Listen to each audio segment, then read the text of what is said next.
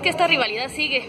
Gracias. Así es, mira, esta rivalidad ya llegó, no a sus últimas consecuencias, pero algo que me gusta, que es una lucha de apuestas, de una lucha en la que el próximo domingo 17 aquí en Naucalpan voy a exponer por segunda ocasión mi campeonato y estoy seguro de que la gente me va a apoyar para poderlo retener. Algo que le quiera decir al hijo del Pantera, ¿qué espera del emperador?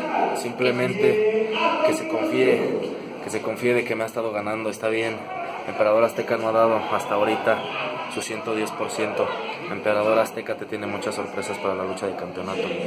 Ya sea que, que tú ganes el campeonato que yo, porque yo sé que tú también tienes buenos recursos y te respeto como luchador. No sé en qué momento me puedas ganar, pero yo voy a dejar mi alma, mi corazón y si es necesario mi sangre en el ring para poderlo retener.